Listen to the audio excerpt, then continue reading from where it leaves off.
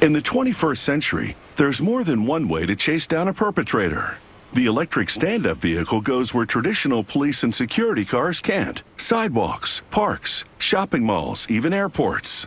The officer stands for better visibility. For a suspect, there may be nowhere to run.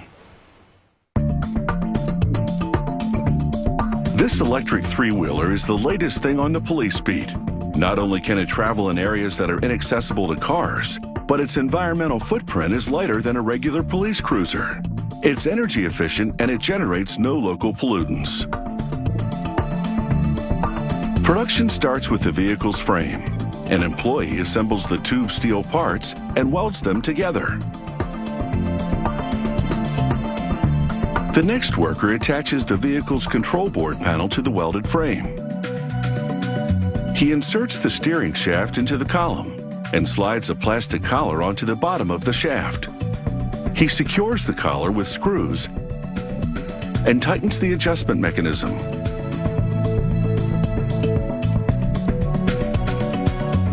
He installs a second collar on the upper part of the steering shaft. The two collars will stabilize the shaft to keep the front wheel of the vehicle straight. He plugs the electric motor cable into the control panel.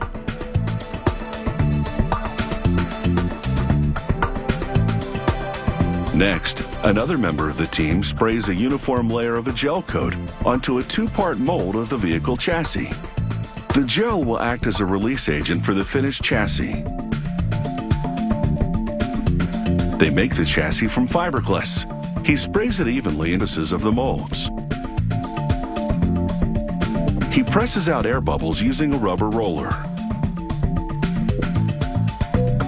Fiberglass dries and solidifies, taking the shape of the mold. The surface is smooth, but there are some ragged bits around the edges. Those are sanded.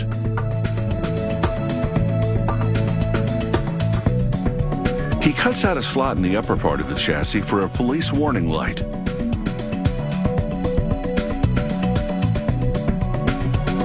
Finally, the chassis gets a coat of automotive-grade white paint. He paints the wheel wells black, and with that, the outer chassis is complete. There's an interior panel, and it's made of fiberglass too. A member of the team mounts it to the inside of the steel frame assembly. He then secures the outer panel to the vehicle frame.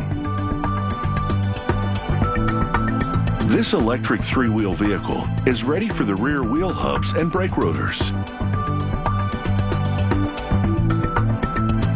He clamps brake calipers to the rotors. The wheels are next. The rear ones are motorcycle wheels.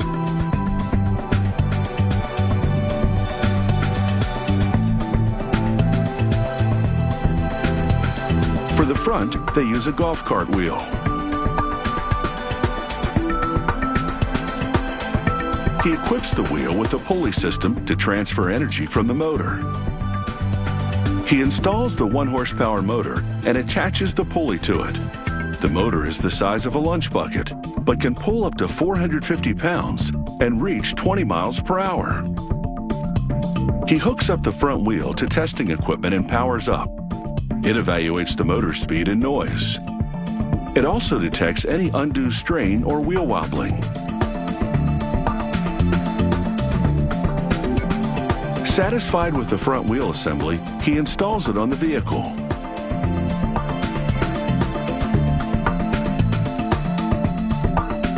He wires and then attaches the throttle and brake control to the handlebar.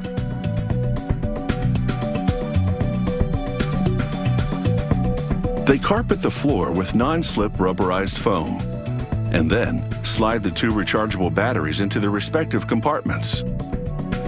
The charge time is three to four hours.